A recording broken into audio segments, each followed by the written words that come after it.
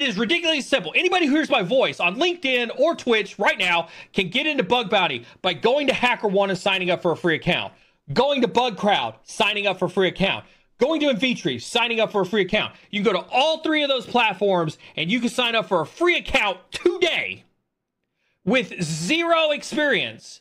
zero experience whatsoever. You do not have to know a single thing about bug bounty other than how to spell it or that it exists in cybersecurity, and you can